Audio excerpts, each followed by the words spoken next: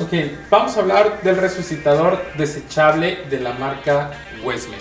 Si se dan cuenta, es un eh, resucitador que tiene una ergonomía, un diseño completamente diferente a lo que estamos acostumbrados a ver dentro de los hospitales. Sobre todo porque la bolsa reservorio o la bolsa que va a mantener el oxígeno, en este caso la vamos a conectar de esta manera aquí, en vez de tenerla en su parte baja, la vamos a tener en la parte media. Esto para ahorrarnos espacio en el momento en el que nosotros necesitamos dar, un RSP o una reanimación cardiopulmonar a nuestro paciente.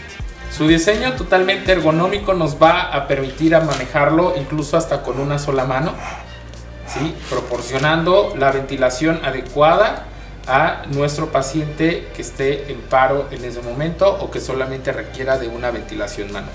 También cuenta con una válvula PIP. Esta válvula PIP nos va a permitir que no se expulse por completo el aire inspirado, manteniendo nuestros pulmones con un aire de reserva dentro de los mismos. Una de las características más importantes es que cuenta con una boquilla de tipo pato, que si al momento que se dan cuenta que nosotros metemos aire, esta boquilla se abre y al momento de nosotros soltar, esta boquilla se, cierra o se sella por completo. Esto para evitar si el paciente vomita o tiene alguna regurgitación, evitar que se vaya hacia nuestro resucitador y pues no lo, no lo infecte o no lo ensucie.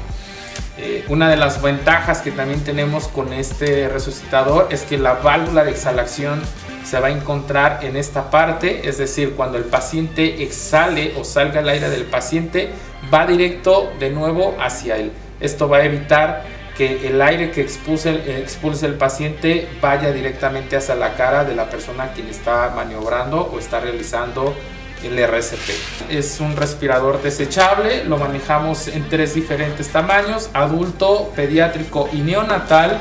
Y otra de las ventajas que también contamos o tenemos con este resucitador manual es que tiene una válvula de sobrepresión o una válvula llamada puff-off. Nosotros al momento de girar esta válvula vamos a proteger a nuestro paciente para que en el momento de que se lleve una presión por arriba de los 40 centímetros de agua, esta válvula libera una presión para nosotros evitar que podamos reventar o ocasionar un problema a nuestro pulmón o al pulmón de nuestro paciente.